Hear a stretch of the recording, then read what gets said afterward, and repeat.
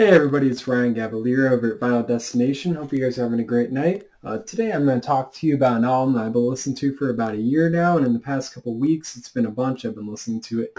Uh, the album is Van der Graaf Generator's Pawn Hearts from 1971.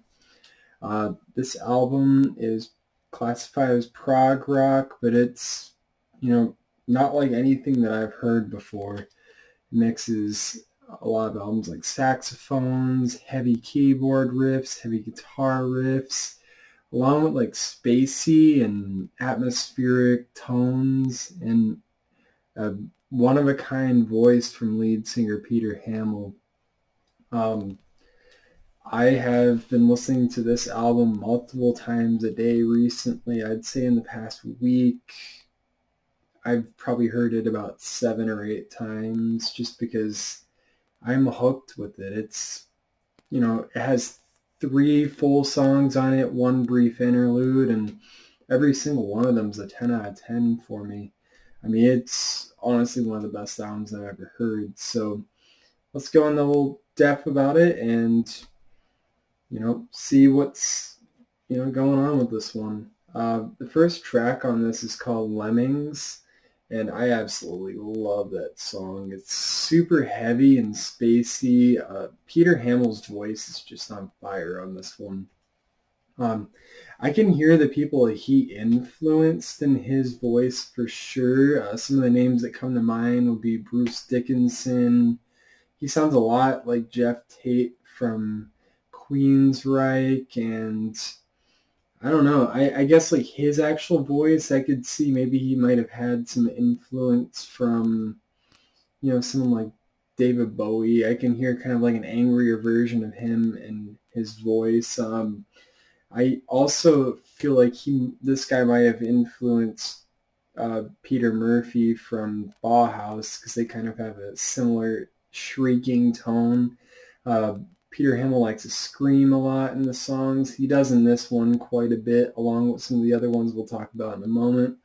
And it's just so unique. Um, I love the saxophones in this song. They add a huge layer of depth to the guitar riffs and the piano and the keyboards um, that, you know, without it, I don't think this album would be nearly as good as it is. And um, just amazing performances overall. The song is about 11 minutes long. It's very, very epic. Um, I've just been listening to it over and over recently, um, and it's an amazing opener to the album.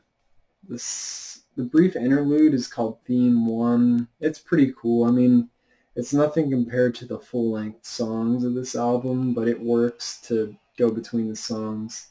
Um, the second full song on the album is called Man Erg, and it might be my favorite on the album. It starts off super soft with, you know, very dramatic piano and theatrical vocals by Peter Hammill.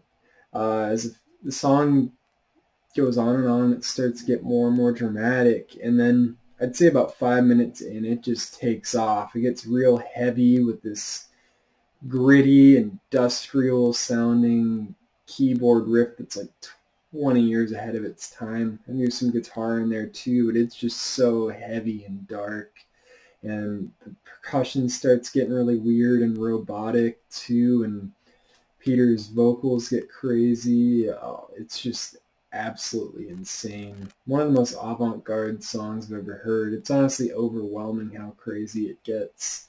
So I think that might be my favorite track on this uh, album. Just the way it goes back and forth from soft to heavy to soft to heavy.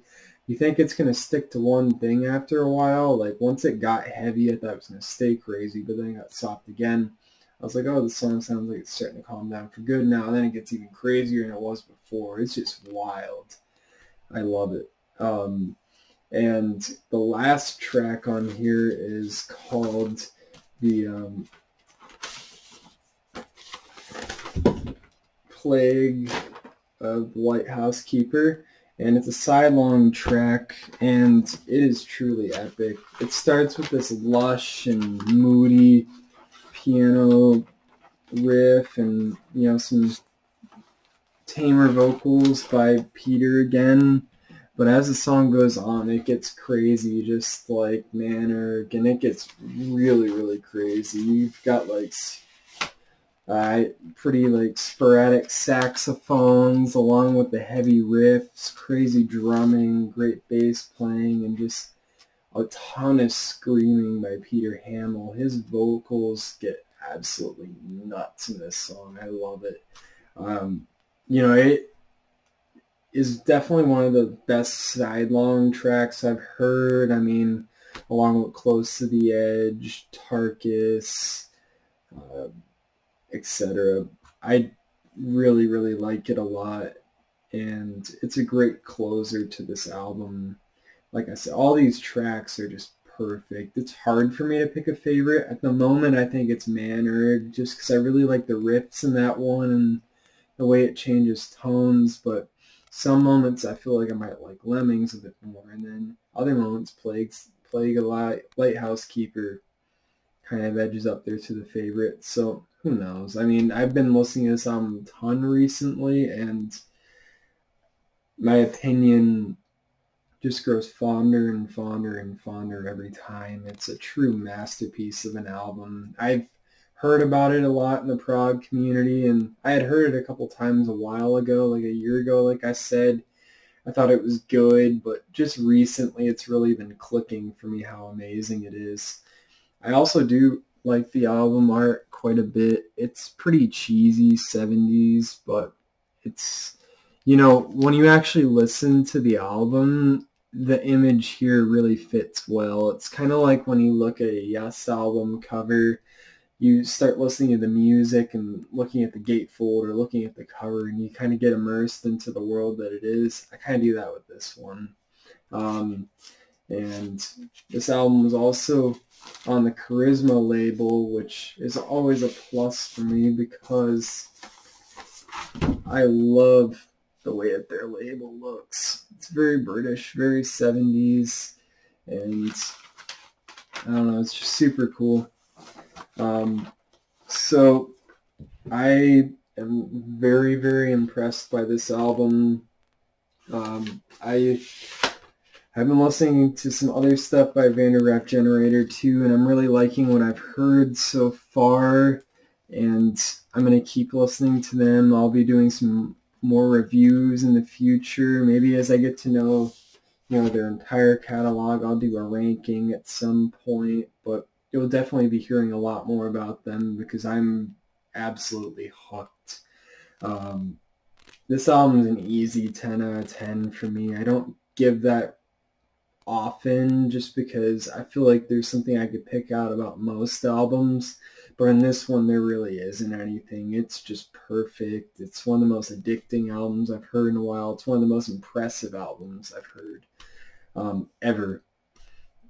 It's snuck its way into my top five prog albums already. It's getting closer and closer and closer to the top two. I think there's a couple albums that would have a lot of trouble beating for me just as sentimental value, but it's definitely getting there near the top. Um, so I definitely recommend Pawn Hearts by Van der Graaf Generator. Easy 10 out of 10 rating. Please let me know what you think about this album in the comments. If you listen to it for the first time after watching this video, please also let me know what your reaction is, as I would love to hear your opinion. Um, definitely let me know about any other bands or albums that you would like to hear me talk about in the future and make sure to subscribe to my channel too for content updates. Um, if you're a fan of prog rock, hard rock, classic rock, jazz, psych rock, uh, proto metal, heavy metal, just you know, definitely subscribe. I'm going to be covering all those genres. I'm a fan of them all. And there's going to be a ton of here for you guys to check out. So thank you for your support so far to everybody who has subscribed. And thank you for watching this video along with my others. Uh, I'm Ryan Gavalier. This is Vinyl Destination. I hope you guys have, have a great night, and I will talk to you soon.